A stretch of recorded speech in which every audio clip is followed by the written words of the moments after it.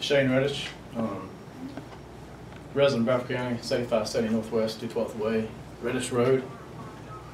Forty-two years old. Been working for the plant for twenty-two of my years.